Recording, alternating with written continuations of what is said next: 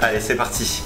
Et on va commencer avec la Tequila Patron Anero Joker. Donc c'est une édition spéciale qui a été élaborée en partenariat avec Patron, avec euh, un vieillissement typologie française et américain. Donc on met 4 centilitres de Patron. Après on va passer sur le H-Theoria Amore Matador avec un petit centilitre. On va partir après sur une autre tomate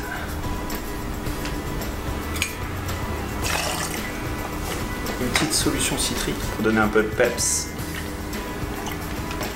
Et un petit bitter cuir maison. Et on y va.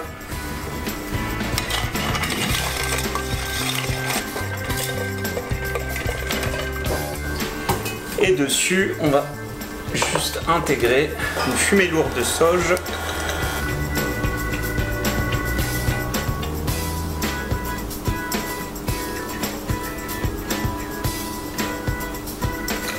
un peu de délicatesse et de poésie.